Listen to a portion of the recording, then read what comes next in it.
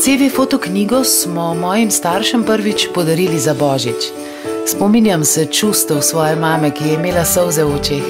Se ni pričakovala takšnega darila. Mislim, da so jo ganile vse fotografije.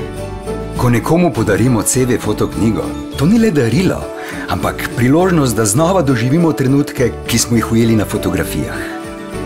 Moja CV fotoknjiga, moje življenje.